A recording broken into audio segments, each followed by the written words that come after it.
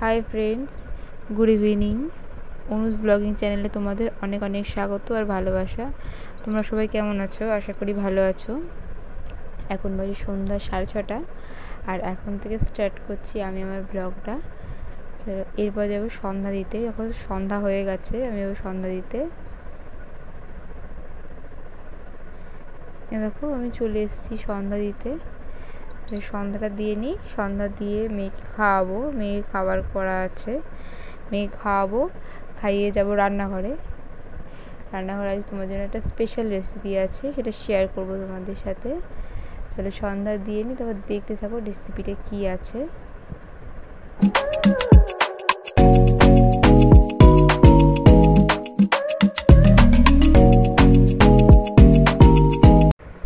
এ দেখো আমি সন্ধ্যা দিয়ে মেয়ের খাবার করে চলে এসেছি এখানে মেয়েকে খাওয়াতে। দেখো ভীষণ বদমাইশি করে খেতে গিয়ে। দুষ্টুমি করছে অনেক কিছু গল্প করে করে ওকে খাওয়াতে হয় আমায়। খেতে চায় না। সাথে টিভিও চালিয়ে দিয়েছি। আমি নিজেও টিভি দেখছি, ওকেও খাওয়াচ্ছি। আর তোমাদের সাথে ভিডিও শেয়ার করছি। মেয়ে খাইয়ে নিই, এবার যাব রান্নাঘরে।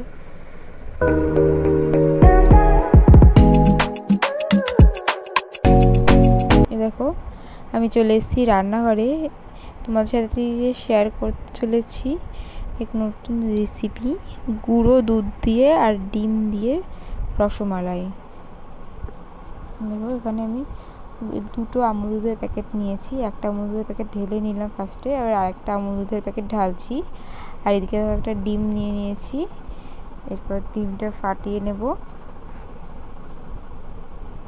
ডিমটা ফাটিয়ে নিই।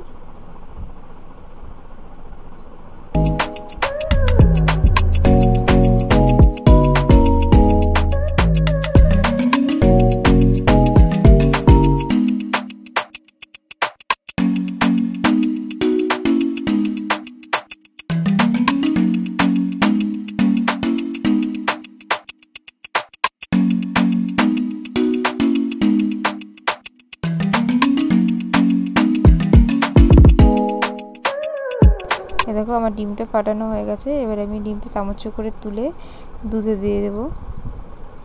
অল্প অল্প করে দিতে হবে আর মাখাতে হবে। ফার্স্টে খানিকটা দিয়ে নেব, তারপর মাখিয়ে নিয়ে দেখব কেমন হয়, তারপর আবার দেব। আজকে তোমাদের সাথে সকাল থেকে সেভাবে কোনো ভিডিও করা হয়নি, কারণ আজকে মেয়েকে নিয়ে একটু ব্যস্ত ছিলাম। আজকে মেয়ের টেন মান্থসের ফটোশ্যুট করলাম। তাই সকাল থেকে ব্লগের কোনো ভিডিও শ্যুট করা হয়নি। আর মেয়ে টেন মান্থসের যে ফটোশ্যুট করেছি, তার ছোট্ট একটু ক্লিপ আমি ভিডিও লাস্টে অ্যাড করে দেবো। আর কিছু ফটো তোমাদের সাথে শেয়ার করে দেবো।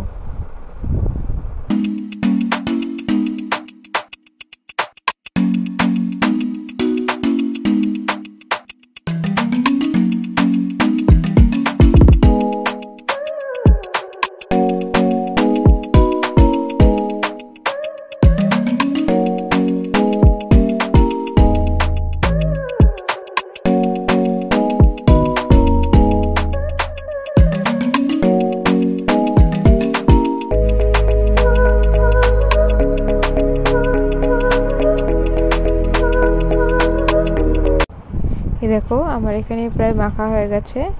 আর একটু মেখে নিলেই হয়ে যাবে। এর ভালো মতন মেখে নিয়ে এর উপর দিয়ে একটুখানি ঘি দিয়ে দেবো আমি, যাতে একটু সুন্দর গন্ধ বেরোয়। এখন একটু ঘি দিয়ে এ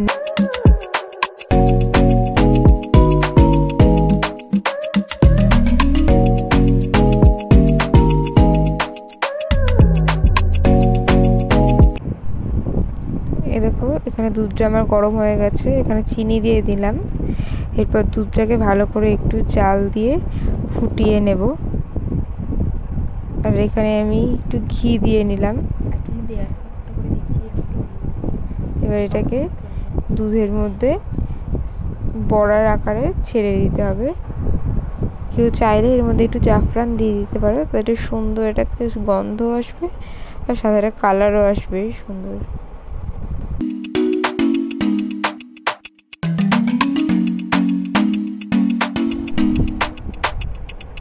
দেখো, আমি এদিকে বড়ার আকারে ছেড়ে দিচ্ছি।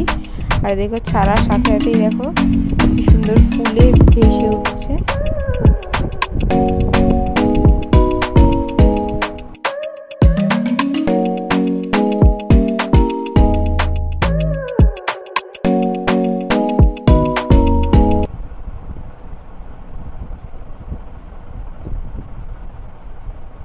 দেখো, আমার এখানে সব দেওয়া হয়ে গেছে। এবার এগুলো একটু উল্টে নেড়ে ছেড়ে নিয়ে ভালো করে ফুটিয়ে নেব। তারপরে এগুলোকে দুধ থেকে তুলে রেখে দেব।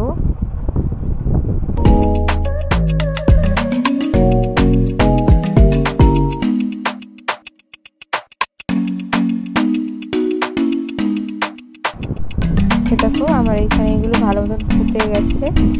ফুলেও গেছে, কি সুন্দর। এবার এগুলোকে আমি একটা আলাদা বাটির মধ্যে তুলে রাখব। তারপরে এই দুধটাকে ঘন ক্ষীরের মতন জাল দিয়ে নেব ভালো করে। এ দেখো, আমার এখানে এগুলো হয়ে গেছে। আমি এবার এগুলো একটা বাটির মধ্যে তুলে নেব। দিয়ে দুধটাকে ভালো করে জাল দিয়ে নেব। জাল দিয়ে ক্ষীর করে নেব। আমার এখানে এটা জাল দিয়ে ক্ষীর করা হয়ে গেছে। এবার একে একে মিষ্টিগুলো দিয়ে নেব। মিষ্টি দিয়ে নামানো আগে একটু গোলাপ জল দিয়ে বাটিতে ঢেলে নেব। আজকের ভিডিওটা এই পর্যন্তই। আমার ভিডিওটা যদি তোমাদের ভালো লেগে থাকে, তবে লাইক, শেয়ার অ্যান্ড সাবস্ক্রাইব করতে ভুলো না। আর সাবস্ক্রাইব করে পাশে থাকা বেল আইকনটা অবশ্যই প্রেস করে দিও। আবার দেখা হচ্ছে তোমাদের সাথে নেক্সট ব্লগে।